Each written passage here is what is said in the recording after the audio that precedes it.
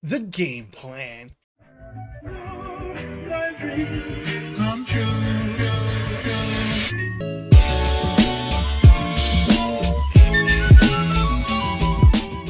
Hello, boils and ghouls, children of all ages. My name is Samuel, and welcome back to the Nights of Horror.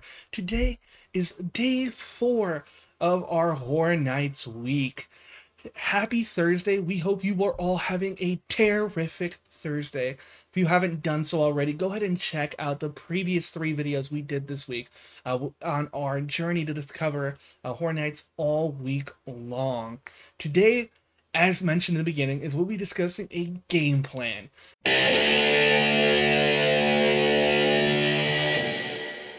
Um, to help you try to get through as much of the event as possible. Um, this is geared towards someone going on a general admission ticket to Horror Nights.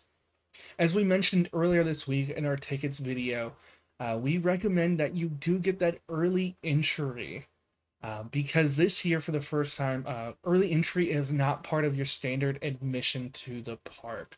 Um, so that early entry begins at $10 and increases in price uh, depending on how busy of a day uh, they're anticipating that day to be. Um, so if you can and you can uh, financially afford it, go ahead and get that early entry.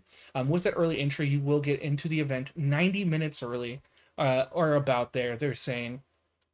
Um, and so what we would recommend doing is if you're getting that early entry, go ahead and also show up a little early to um, there. That way you can get parked, walk through City Walk, um, and, and, be one of the first people there. Um, because we want to make sure with a general admission ticket that you're trying to get to things as early and as quickly and efficiently as possible. Um, because we are anticipating very large crowds, um, especially as you get closer to the event, um, or if you're going during the opening weekend um, or if you're going on a Friday night or, or, or Saturday night. Um, so if you can get that early entry, get there early, go on a day that maybe um, would be historically lower, like a, a Thursday or a Sunday night, um, if you can. Um, but once you get there, this is a game plan we have for you all. Um, first and foremost, we're going to recommend that you go to Stranger Things as quickly as possible. We know that historically, the mazes that have been in sound stages that are linked to an IP have had very long wait times. Um, things like the Weeknd la- um, last year, or even Stranger Things, um, the previous times it's come to the event have had very long wait times. Um, so our recommendation is to get there first, um, so that we can get it knocked out of the way. And the beauty of this uh, house is since it is in a sound stage, um, it's a controlled environment. Um, so if it is earlier in the season and that sun has not quite set, um, when you're going into the sound soundstage mages, you can't even tell the difference, um, just because they're controlling the lighting, um, and there's no interference from the sun. Um, so if you can get to that maze first, that's a recommendation. And once you get out of Stranger Things, then probably you're gonna want to head over um, to the Last of Us, which is in the Mummy queue. Um, this is another maze that a lot of people are quite excited to be coming to the event. I know that Tony's probably going to have this high on his anticipation list. Um, and so if you want to see where, what mazes we're most um, excited for this coming season, come on and stay tuned because um, we will have that coming out sometime later this week. Um, and so go ahead and hit The Last of Us. Um, and once you get done with The Last of Us, it should be dark by then. Um, regardless if you're going in September or if you're going um, closer to Halloween. Um, so then we would recommend going on over into the Terror Tram um, because the Terror Tram does close early. Um, depending on the night will dictate when that last tram leaves. Um, and this is not this is something you don't want to miss. Um, you get to walk through some really cool sets, things like the Nope set, um, War of the Worlds, um, and it always has a great. It's always a great time as you go through. Uh, you know, walking past the Bates Motel, the Bates uh, house. Um, so go ahead and check out Exterminators on the Terror Tram. Um, last year when we went to the event, uh, one of the great things about the Terror Tram is they are very quick and efficient. Um, when we had went, uh, we were told that the wait was going to be about an hour, but I think we were on a tram within about 30 minutes. You just had to go up and down the turnstiles. Um, they were really quick and efficient, having trams coming left and right. Boom, loading, loading, gone. Um, so go ahead and check out the Terror Tram. Um, and once you're done with the Terror Tram, um, you can go one of two ways. Our recommendation is to go back down into the lower lot um, and go and hit the Exorcist Believer. Um, this is a house that's going to be based upon the upcoming film that's coming out Friday, October 13th.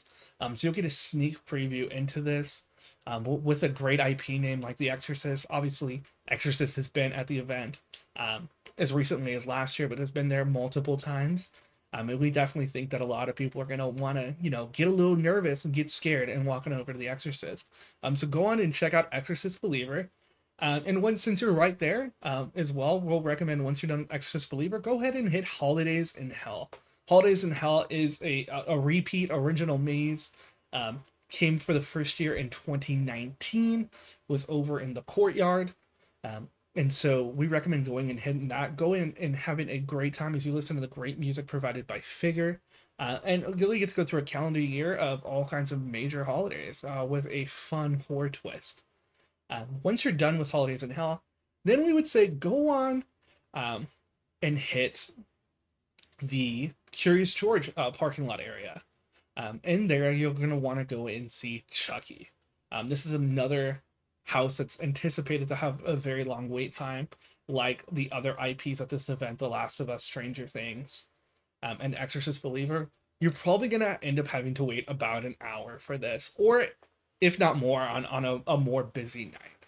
Um, so just anticipate that.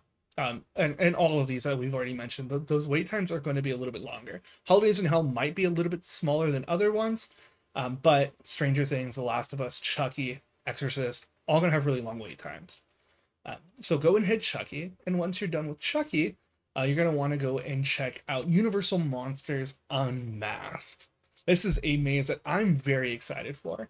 Um, and as I've already shamelessly plugged earlier, go ahead and check out sometime later this week when we go over our most anticipated list, because uh, this is probably going to be rather high on my list. Uh, but go in and have a great time with there. Um, go and visit with some of these uh, iconic Universal monsters: The Hunchback of Notre Dame, Phantom of the Opera, Invisible Man, Doctor Jekyll, Mister Hyde. So many great characters with an original twist, and that. And another shameless plug if you haven't done so already, go ahead and check out our Midsummer Scream panel where John Murdy discussed this maze, uh, Universal Monsters Unmasked, as well as a maze we'll cover in just a few moments. Uh, uh, Monstruos, the monsters of Latin America. Um, once you're done with Down That Curious George lot, come back up, go on through Harry Potter, maybe go see some Death Eaters, you're also going to now probably go to walk through some scare zones um, as you make your way on over to Evil Dead Rise. Um, this is going to be where The Walking Dead was previously, um, when it was a full time attraction there. Uh, last year, Universal Horror Hotel was there. Um, but go ahead and check Evil Dead Rise. And go ahead and be scared because uh, from what people are saying, um, I believe this is going to be one of the more gory houses, uh, one of the more intense houses. Um, so anticipate a very scary but good time um, as you venture into Evil Dead Rise, uh, based upon a film that came out just a little bit earlier this year. And last but certainly not least, as mentioned, you're going to want to go check out Monstruos, the monsters of Latin America, which is going to be in the courtyard with a scare zone attached to it. Um, this is going to be another high quality maze. I've yet to be disappointed, and the few years I have gone to Horror Nights with mazes that have been in this courtyard, um, and I don't anticipate dis- being disappointed this time. Um, so that will cover everything.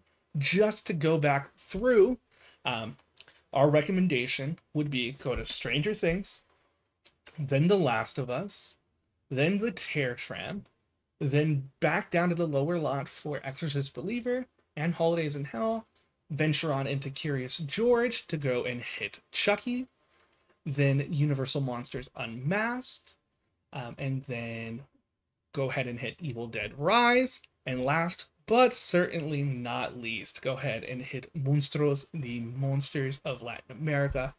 Um, that would be our recommended order to go in and try to hit every single house as efficiently as possible. Obviously, with that general admission ticket and with the anticipated crowds, it's going to be difficult to get in any of the shows that that, that may be coming. At this point, they have not been announced, um, but we are filming this just a few days uh, prior to releasing. Um, so when it does get announced, um, ideally we'll be able to cover that. Uh, but we are just one week away. Um, and that would be our game plan for this event. Go ahead and drop a comment down below with what your game plan would be on that general admission ticket. Also, go ahead and start saying what y'all are most excited for. As mentioned, we are going to be putting out a video just later this week to discover the mazes we're or houses we're most excited for. Um, if you haven't done so already, go ahead and drop a like on this video because it really does help out. Um, as well as go ahead and hit subscribe. We are over 3,000 subs and we are so excited and happy for that. Um, and last but certainly not least, go ahead and hit that bell notification. We have a lot of great content coming your way this holiday se- or this Halloween season, um, and, and, we're really excited to be able to share that with you all. Um, and um, we're just real, real happy here. Um, if you have a last, uh, well, actually, one more thing we want to do is go ahead and if you haven't done so already, go ahead and follow us on Instagram. We do our best to to post as when we're going to these events. Um, so it's a great place there, um, as well as we'll post any announcements if there's anything coming out of Scary Farm, if there's anything coming out of Horror Nights, um, or the various other haunts around the SoCal area. We'll go ahead and do our best to post on Instagram um, so that you can hear it there, um, as well as on X. Um, you can go ahead and follow us there. So Instagram would be the nights of Horror. On X, we are nights of Horror. On Threads, we're at the nights of Horror. Uh, though we're not as active on Threads, we are still there. Um, as well um, is uh, if you want to follow Tony and his gaming adventures, you can go ahead and check him out on Kick at uh, Nights of Horror Gaming. Um, and overall, we're just really hoping you all are having a great time. We are one week away. We are so excited, and we can't wait to see y'all in the fog. Peace.